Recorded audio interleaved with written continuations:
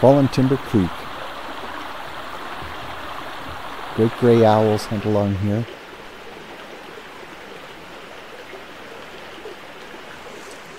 Brook trout fin in the pools.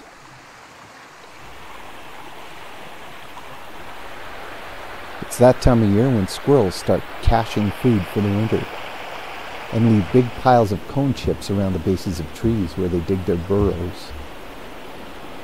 Bits of fall color are starting to show up now. There's still little bits of fireweed blooming. But what's really showing up in the forest around Fallen Timber Creek are mushrooms. They're everywhere, pushing up through the moss, knocking roots aside, thronging along the banks. But with the weather continuing like it is, sunny and warm, there's still lots of life along Fallen Timber Creek.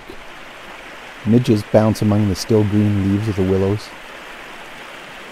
And the brook trout that are in the stream are still gobbling up flies. It's a pretty little creek.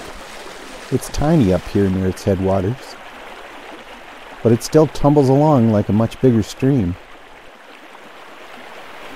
And even though the squirrels are getting ready for winter, Fallen Timber Creek still has a little bit of summertime left.